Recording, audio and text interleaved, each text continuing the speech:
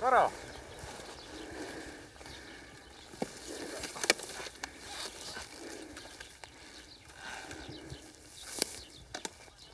To je jaký prudký.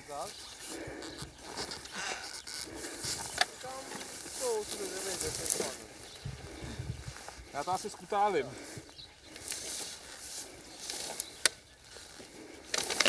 Ten si byl na obň řečen.